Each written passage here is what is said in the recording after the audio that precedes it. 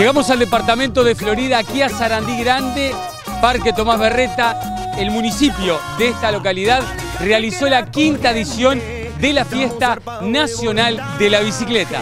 Bueno, sí, quinta edición de esta Fiesta Nacional de la Bici, acá en Sarandí Grande, en nuestra ciudad. Muy contentos por la cantidad de gente que una vez más se hizo presente aquí en el lago de nuestro Parque de Tomás Berreta.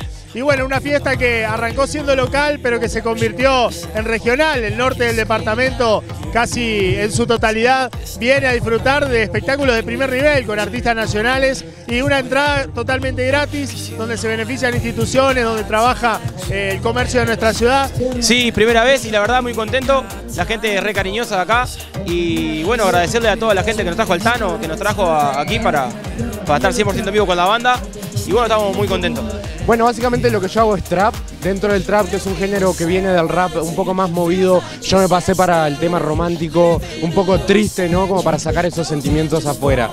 La verdad que para mí esto, esto es increíble, es increíble tener gente pidiéndote fotos. De Florida, 40 kilómetros de acá de Sarandí, muy linda la fiesta y la verdad que se está armando precioso. No, no se siente la diferencia porque la gente acá es muy cálida. Pide un, una maquinita al, al costado, un poco más larguito arriba. Pero mirá que el gaucho se está actualizando últimamente y, le está metiendo al degradella. O sea, los gauchos ya se sacan la boina y, le meten al degradella. Está fresco. Está muy frío realmente, sí. Para tomarse un heladito, aunque siempre viene bien un heladito, un heladito digestivo. ¿Los chorizos se dejan comer o no?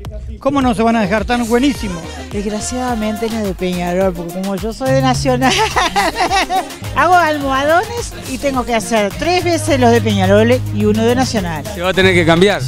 No, pero no me puedo cambiar.